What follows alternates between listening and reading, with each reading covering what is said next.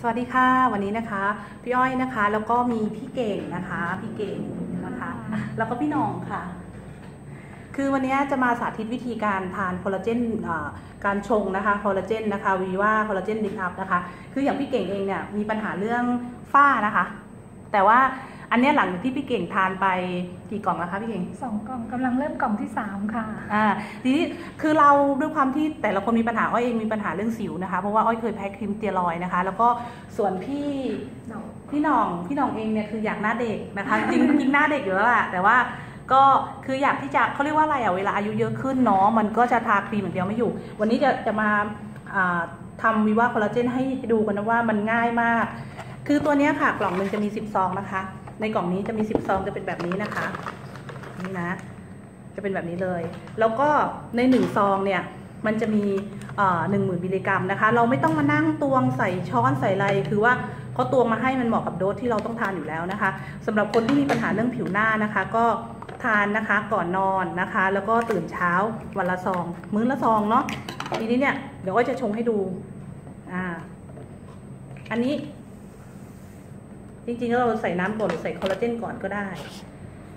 ชงเวลาชงเนี่ย ใช้น้ำอุณหภูมิห้องนะคะ อุณหภูมิห้องอนี่นะคะ คือจริง ๆ วันนี้ไม่ได้ไม่ได้ตั้งใจมาก แต่พอดีว่าอยากที่จะชงให้ดูกันเนาะเพราะว่าวิว่าคอลลาเจนตอนนี้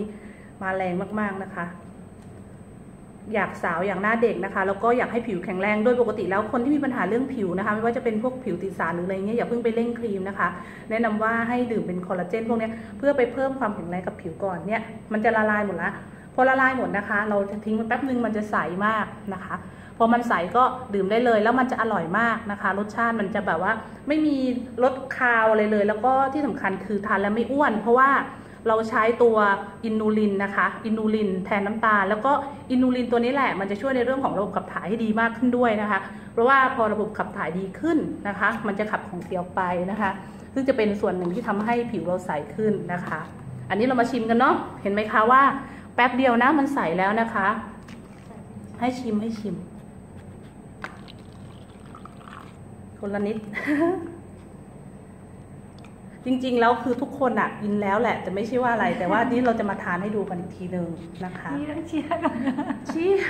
ใช่ค่ะ เพื่อผิวสวยผิวใสหน้าเด็กนะคะ อย่าลืมนะคะวีว่าคอลลาเจนค่ะคนละค่ะ เช้าเย็นวันละซองนะคะ ใช่ค่ะ